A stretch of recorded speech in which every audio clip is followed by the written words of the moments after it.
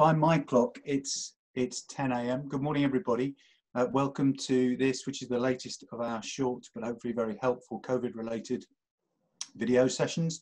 Uh, we're in conversation today with two of my colleagues, uh, particularly focusing around the interaction between health and safety, uh, returning to work, getting the workplace ready, and the impact that that may or may not have on privacy.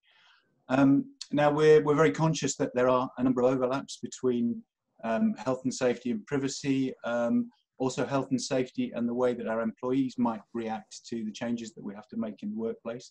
We have a separate session on Tuesday specifically relating to health and safety and employees. So if you want to join us for that, that's great. But we won't be picking up on that today. Um, I'm Steve McNichol. I'm chairing the session, so hopefully you won't hear too much uh, from me.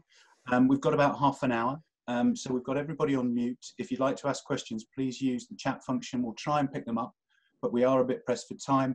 Um, but we can deal with them on the hub as, as a, a series of FAQs if that would uh, be really helpful. Um, a last thing probably to say uh, before I introduce uh, Phil and Tris is that um, my connection has been playing up a little bit this morning. So if I disappear all of a sudden, it's not through lack of interest. Uh, it's purely because the kids have stopped pedaling downstairs. Um, so I'll try and rejoin as quickly as I can. But frankly, if I'm not here, uh, you've got the two people that know everything that you need to know uh, speaking with you anyway.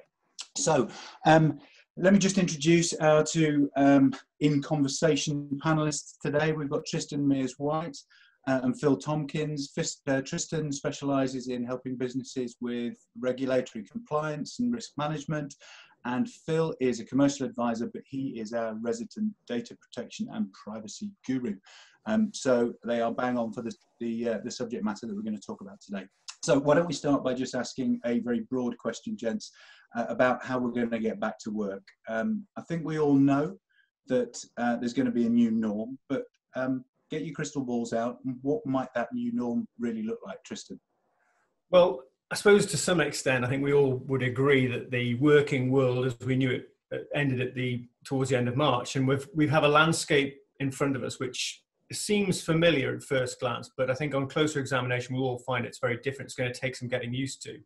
Um, one, one of the contextual issues here is around you know employers needing to understand the anxieties in the workforce about returning to work. There was a TUC survey um, published the other day which indicated around just over 40% of workers describe themselves as worried or very worried about returning to work. So, as well as thinking about the legal statutory obligations that businesses have in getting people back to work, employers have really got a hearts and minds hurdle to get across in order to just make the workers feel that they're safe when they're going back to work. So um, that's a bit of, a bit of context. I mean, we're in a strange place in the UK. I mean, we we could look at it as something of an advantage in that the stage that we're at in managing the spread of the virus um, gives us an opportunity to look at what's happening overseas around Europe and into Asia and assess what's going on, borrow maybe, borrow some of the more effective approaches that uh, we can see being rolled out.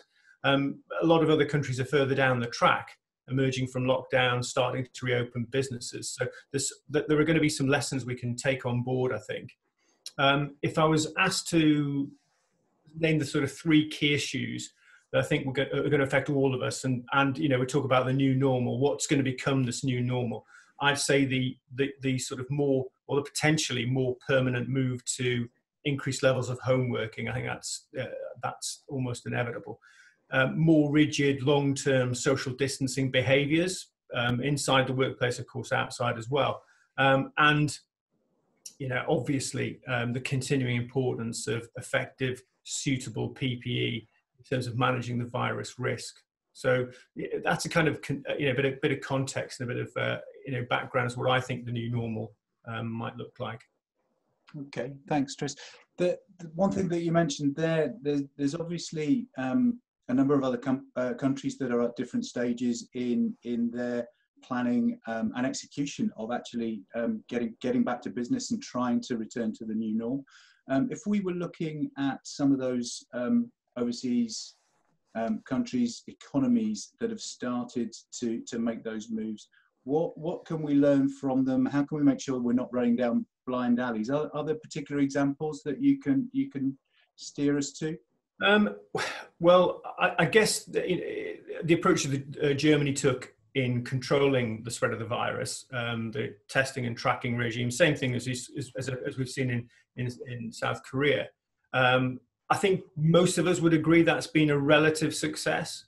Um, so, uh, looking at how they're approaching returning to economic activity is probably a, a decent place to start. So, um, the German authorities, um, their, their opening position in terms of what they're saying to employers is exactly what has been said in the UK work at home if it is at all possible.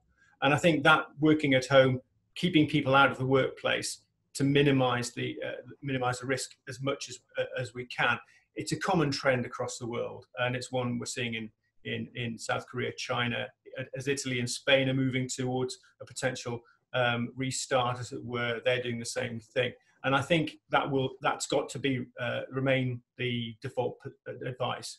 The difference we're seeing is that the Federal Ministry of Labour in Germany have uh, have codified and uh, created a number of what what they do they call occupational safety standards. So these are codified in law as to what businesses have got to do, not um, might do or can do their best to do, but what they they, they must do.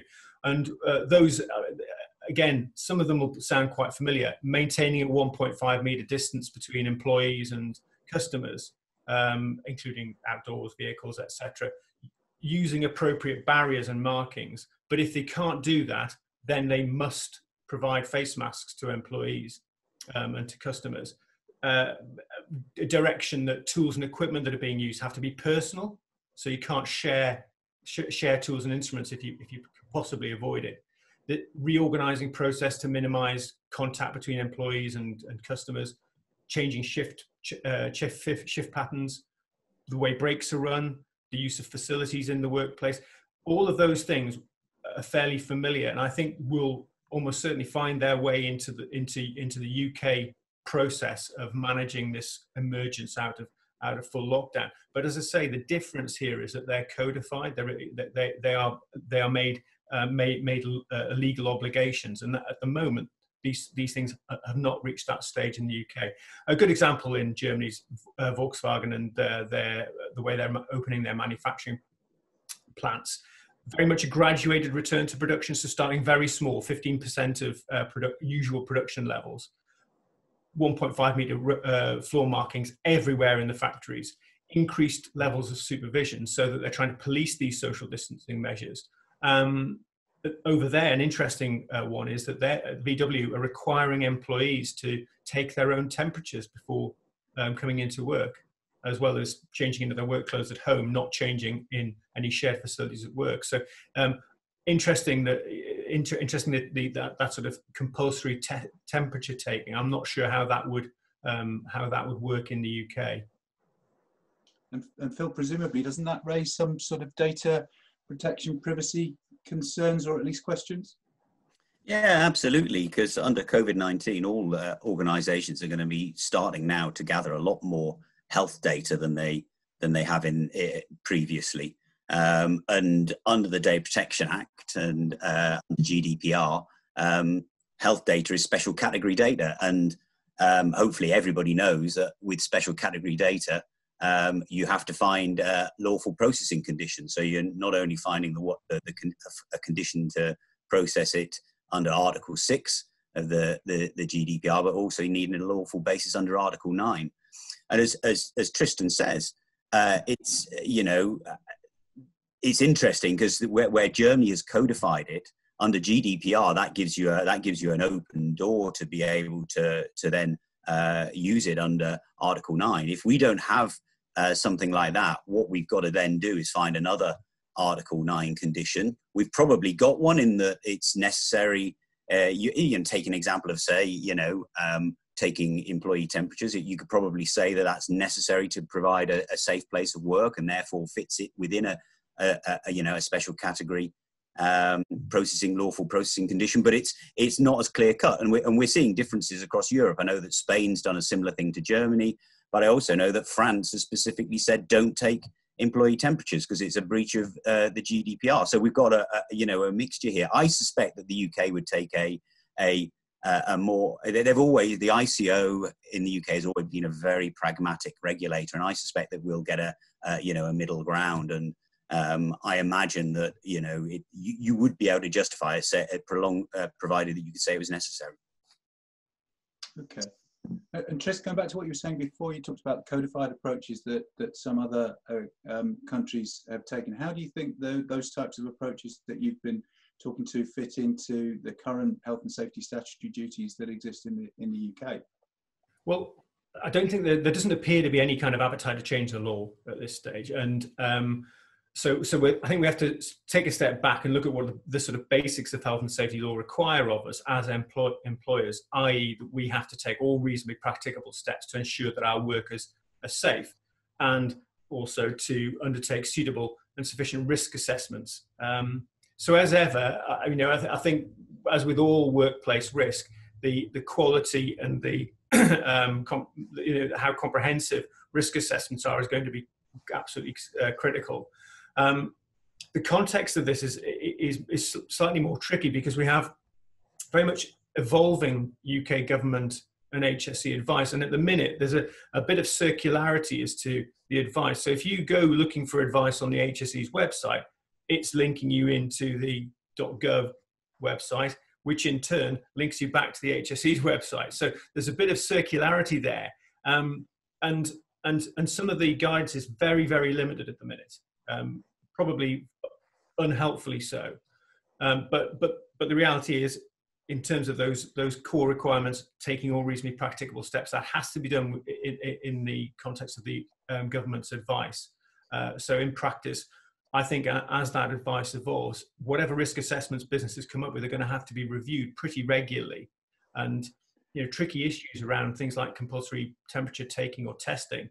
Um, and how that's going to be going to be managed could depend on how government advice evolves. I mean, just an example, very brief example, being that uh, up till yesterday, government advice on wearing face masks in public or on public transport was that they weren't necessary.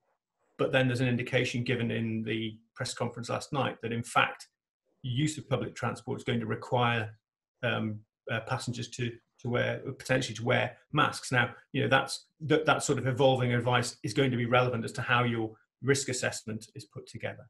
Okay, um, and so I suppose from a practical point of view, that that that begs the question: given given the the vast range of and, and diverse nature of the businesses that that are on here listening to us today. Um, how, how do we go about conducting and planning for uh, a risk assessment um, to, to manage something that is evolving so so quickly. And actually um, given that we are to use that phrase that everybody is using we're in uncharted territory. Yeah it's, it's true. And you know I'm, I'm, i expect that most of the most of the um, people who are on this call will be familiar with risk assessment and will have undertaken risk assessment and know how it works. And you know there's a there's a very i think businesses in this in this country are very good at doing this. They're very good at assessing risk and coming up with systems of work. Um, if you look sort of globally, most jurisdictions take a very similar approach as to how they assess risk and the hierarchy of controls that um, that safety professionals talk about. And you know, in China, if you look at how the Chinese um, states, Wuhan has come out, is moving out of um, of lockdown. There's emerging evidence there um, as to how they're adopting a similar approach in terms of hierarchy of controls and they start at the point where they say, right, okay, avoid, eliminate, substitute. So avoid, have people work at home if you possibly can. The same thing as we're seeing in Germany and in Spain and in Italy. Um, but then as they move down the risk controls, actually there's not much you can do in the terms of elim- eliminating and substituting. We can't eliminate the virus. We can't substitute the virus for anything else. And so the path of risk control leads to administrative control, so it's changing process in the workplace, changing work practices, the sorts of things we talked about before about uh, you know the, the 1.5 meter distancing, not allowing or, or, controlling the use of shared facilities, that sort of thing.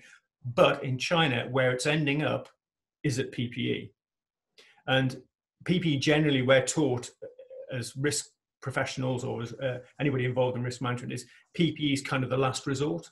But here, it seems to be pretty much where you know, where businesses are ending up: disposable gloves, face masks, prompts to constant prompts to wash hands, that sort of thing. So as far as to where a business starts, well, you know, first of all, you've got to decide who needs to return to work. Um, when do they need to come back? Um, as many as people as possible uh, should continue to work at home as they can because it's a key control measure. The fewer people coming back to the workplace, the, the lower the risk. Um, I mean, the, the issues are a, a, a, myriad, and we probably haven't got time to run through them all. But some of the things we need to be thinking about is the workspace itself. How is it laid out? How do we make sure it's kept clean and hygienic? You know, what are we doing to support cleaning staff if they if we're wanting increased cleaning and and hygiene measures? How do we support them? Um, in practice, how do we keep people apart? Uh, there's uh, we're seeing in some um, call center and office environments uh, if they're, if they're working in um, open plan, increased um, barrier protection between workspaces. So use perspex screens between workspaces to try and get that physical separation. Um, practices around how we use workplace facilities, toilets was something as basic as that. How do we control people going in and out? Um, how do we, uh, if we're going to rely on PPE, can we get it? That's a, you know, it seems you know, there's a supply chain issue here at the minute and if, if we do get it, is it suitable? I've heard anecdotal stories of, of organisations ordering PPE, and then the stuff that arrives isn't the specification that they they need to work safely in in their industry. Um, what about customer interactions? How can we limit that? We've all, we're all becoming quite used, I think, to using uh, platforms like this, like Zoom and and Teams, and you know, instead of having these face-to-face meetings with customers and clients, that's this is the way that it's going to be for some time. You know, using these sorts of platforms, and we need to be, and there has to be infrastructure to back that up. Uh, what about um, fire safety? What about first aiders on site? There are requirements around that, and if you've got lots of people uh, working remotely, how, can we can we meet those requirements? Is there going to be a need for extra training? There's lots and lots to think about. And, he, and when we've gone through that process and we've thought about all those areas of risk, we then have to re- record it and then we need to train it out to our people. There's a lot, there are a lot of challenges to be met here. But as I go back to the beginning of what I said, most of the people on this call, most of the most businesses in this country are very good at assessing risk and will and, will will will follow the, the process they're probably quite familiar with. It's just this is a very unusual one to manage. And, and Phil, as, as part of managing that risk, I, I guess it, it's inevitable that, that we're going to want to start in some way to monitor the health of our employees, particularly given given the R number that, that appears um, to, to be all over the press at the moment, and people being acutely aware of, of, of, of the rate at which this, this disease transmits. Uh, what, what about data and privacy there? Yeah, I mean, with you know, with with when we're looking at risk, we you know we also need to consider privacy risk. Um, I mean, the starting point when you are when you're looking at gathering all of this data, your starting point has to be your employee privacy policy. So every organization knows, or everybody knows, that you've got to have a or you have a privacy policy on your websites. But do you have a privacy policy for your employees? Now you should have. It's actually a legal requirement on you. But I know from my dealings with organizations that a number of them don't have them, or if they've done them, they've uh, they've uh, just bought something off the shelf or something. What you need to be doing is making sure that your employee privacy policy will cover you for this kind of processing, because otherwise it's a breach of the GDPR. So make sure, take a look at your employee privacy policy. That would be my starter for 10. Um, the other thing that I think you need to be doing is, you know, as with as with uh, Tristan and health and safety, is risk assessments. Now, you know risk assessments in health and safety we've we've been doing them for, for, for decades now so we know where we're at. Risk assessments for data protection i don't think we're as good at. We, in the public sector i think they're very good. In the in the private sector I, am not sure that it's that the, the, message has come through um, sufficiently yet. And you know a uh, what, in risk assessments, what we're talking about in data protection is a data protection impact assessment. Um, they're actually a requirement on organizations um, where there is a type of processing which creates a high risk uh, to the rights and freedoms of individuals. And specifically, the ICO guidance says that uh, such an example or something which would cause a high risk is uh, where there is large scale processing of special category data. A, uh, you know, and voila, we have that now, don't we? And so, what could you do about risk assessment and what could you do? Well, you know, take again, again the example of um, taking employee temperatures. Um, you know, uh, you look at a data protection impact assessment. What you meant to do is you meant to identify, assess, minimize risk, take it, you know, uh, put in place uh, mitigation measures. So you're going to take the temperatures of your staff. Well, do you need to keep the data? I mean, you know, once the uh, is it if you take the temperature, do you actually need to, to, to, you know to keep the, all of that data, or is it just a oh you have passed, you're in, or you you know you failed, you're out? Um, do you need to actually you know think about the data that you're keeping? So you're taking employee temperatures. Do you actually need to know the the the, the reading? You know, or, or, is it just a they were above or below 37.5 degrees you know the you know the, the sort of the, the, the normal human temperature the normal max human temperature I mean, also think about you know who who needs to have access to that information. Does everybody need? Well, obviously not. You know, there's only a small um, number of people that need to have access to that information. So think about access rights as well. You know, and, and, and uh, if you take a DPIA model, you'll see that you'll be able to work through, you know, where is the where is the data that's being gathered? What are the privacy concerns? How can we mitigate against that to make sure that by doing this kind of activity that we're not creating a, a privacy risk in itself? Um, okay, uh, turning now perhaps to, to social distancing and another one of the new phrases that, that uh, seem to have become so commonplace in, in conversations these days. Um, Tris, have you got any examples of organisations that are that are already starting to manage social distancing in within their own businesses um, that, that, that you can perhaps share with us?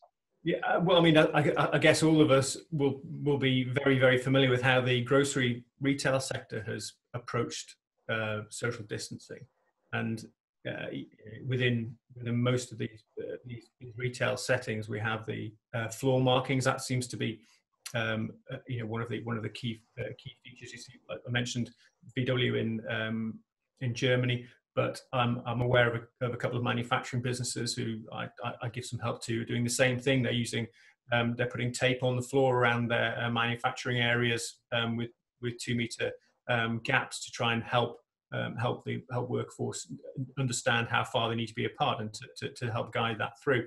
Again, in grocery retail, we've seen how uh, the point of sale has changed, putting up perspex screens between us and the and the um, uh, uh and the checkout staff uh, those sorts of barriers, I mentioned them in the context of a, of, a call center where, where they, they put these increased raised barriers to try and get that physical separation. Uh, in construction, which you know we're, told that uh, construction is one of the key sectors that's going to be um, encouraged to um, reopen sites and get back to work. Very tricky, but um, the, the use, use, of physical barriers again to separate activities on site, um, having fewer individuals or the minimum number of individuals working on a task so that um, you know, there's less opportunity for them to interact and you know trying to limit the number of occasions where they have to work on something on, where individuals work on something together even if it means things are done a bit more slowly uh, trying to schedule the work so that if there are indoor and outdoor works they're um, scheduled in such a way that those interactions are limited so that's you know, you know key in terms of maintaining the social distance. Um, be interesting to see how it works in offices. These you know these display these perspex screens or or increasing the distance between desks um, in in, uh, in, in in office uh, environments. Again, the key though is going to be this, that the fewer people there are in the workplace, the better. That allows you to um, have social distancing uh, measures more more easily maintained the fewer people there are there. So it goes back to the first point, which is if you can work at home, work at home. Um, be interesting to see now outside of the grocery sector how retail deals with uh, reopening. pardon me. Stores, um, Greggs are opening 20 of their um, bakeries in the northeast in the next um, few days, just to see how they can they can manage social distancing. Um, overseas, uh, some of the smaller retail, seeing small retail in Germany, and even some of the um, uh, restaurants at reopening, but only on a kind of takeaway basis, or some of the, uh, the, of the big brands like Starbucks and um, and the like having tables out, socially distanced tables outside, and not allowing people to sit inside. So you know, um, a lot of this is going to be dictated to by the sector. Some sectors, uh, it's going to be a little easier. Other sectors going to be a lot harder. Anything where there's close uh, contact with customers or or clients is going to be very difficult to manage. And the only thing you can do there is to look at the at the sector guidance that's being given um, by the government. Interestingly enough, it's the Scottish government who've been a bit more proactive in terms of putting that together. So it's well worth a look at the Scottish government um, uh, Public Health Scotland, I think it is, website website and the guidance they have for different industry uh, sectors on, on on managing this risk and on on use of public transport. It's been a, it's slightly more comprehensive than that available on the UK government's uh, sites.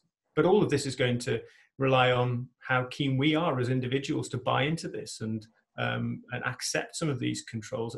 I think don't think we'll have any choice, but that's what we're talking about in terms of the new normal. It's going to be a new way of working. I think we're all going to have to get used to it. Uh, and I suppose just picking up on, on that point, Tris, um, a, a, lot of the um, the, the success around these these sorts of um, uh, uh, structures, new ways of working, the new norm that everybody uh, is dependent upon the way that people react, uh, the way that public uh, interact with each other, and the way that employees will will um, interact and, and, and behave with each other. So, at the risk of of straying into the session on, on Tuesday, which is more than 50 employees. Um, as an employer, how do we how do we go about thinking about whether we can force employees to wear, for example, PPE or or um, social distancing?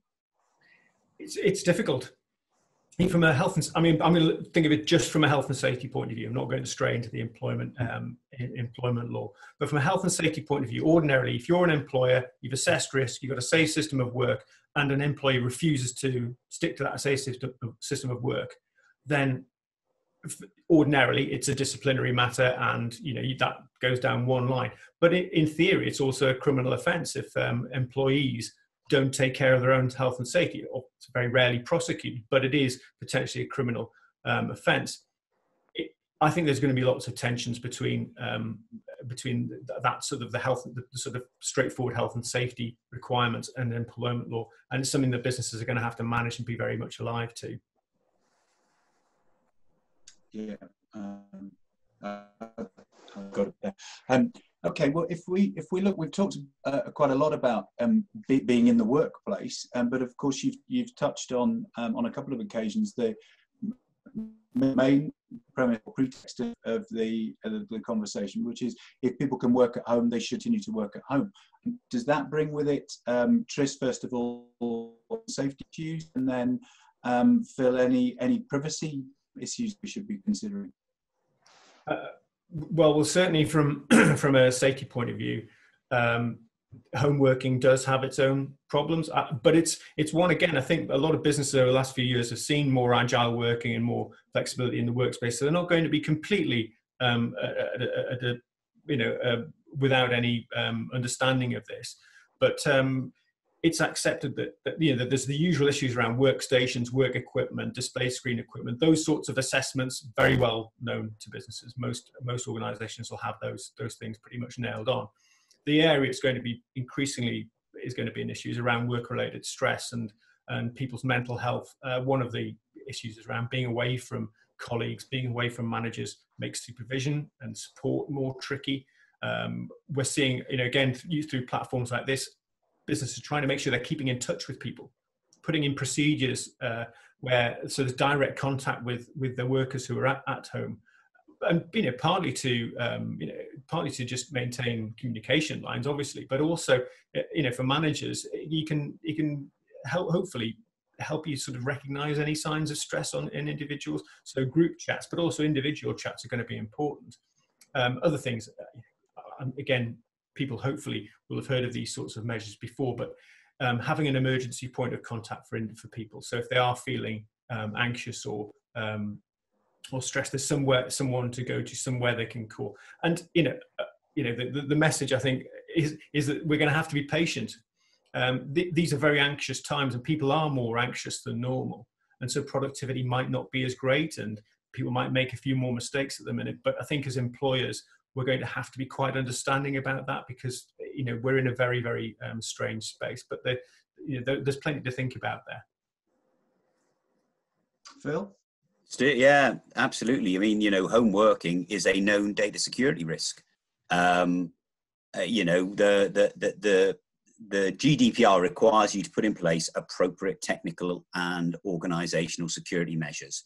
So when you're working from home, there should be appropriate security in place. So in this rush when we when when we all went into lockdown, um, you know, did you already have a home working policy? If you had a home working policy, was it um, just an, a health and safety home working policy, or, or, or did you have actually a home working policy which dealt with data security issues as well? And you know, and, and classic work from home data security issues are, you know, using home email addresses which aren't particularly secure, um, using Dropbox or insecure social media to do uh, work communications.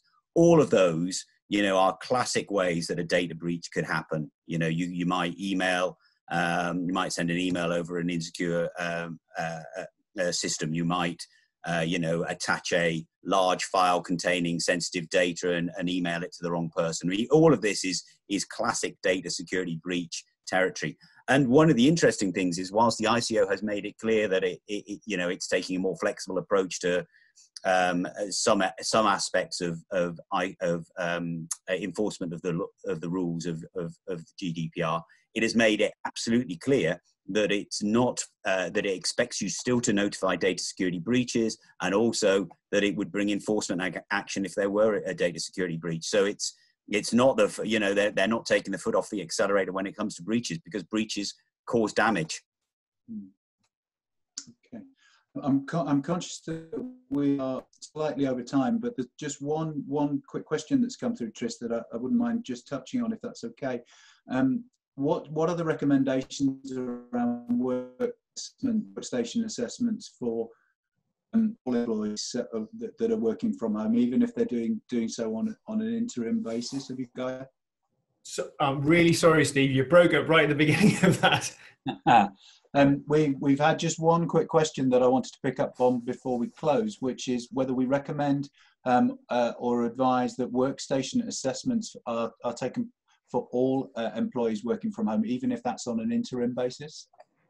I think you I think you would have to, even if it was um, a fairly basic assessment, just to um, and it may you know it may be not possible to take uh, you know to have uh, you know the sorts of office chair with all the adjustability that you have uh, uh, in, a, in, a, in an office setting, but you will be able to give makes give some guidance on things like taking frequent breaks, making sure that there's you know there's a, a degree of um, uh, of of how the how, of, of control as to how a desk is set up to be as good as it can be so that um, but pe- you know the essential stuff is people taking frequent breaks and not staring at uh, computers all day getting up and walking around making sure that they're, um, uh, that they're not uh, seizing up as it were. But those are those are fairly basic things.